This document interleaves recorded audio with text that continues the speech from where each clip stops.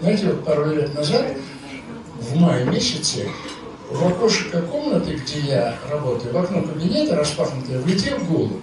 Влетел голубь и затрепыхался по комнате. И жена мне кричит, гони, гони его скорее, а то он на тебя насрет, как на литературный память.